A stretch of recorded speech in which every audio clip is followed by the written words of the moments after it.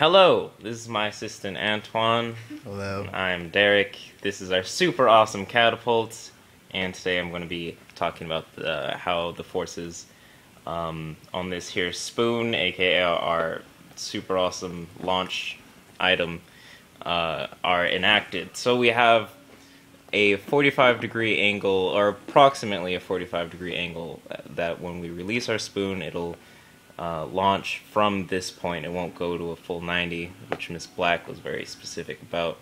We also have the force of our base here, the made of, of pencils.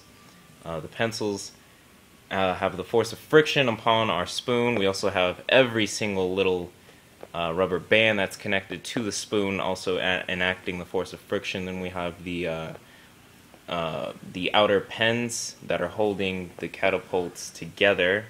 Um, there's a huge stack of, of, rubber bands here that are counteracting each other in balance.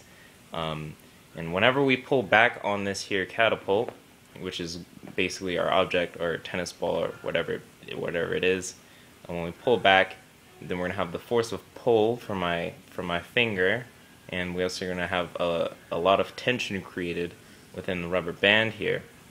So when we release, the item will then go against the force of air and uh, gravity, and it will be propelled by the force of thrust from our catapults.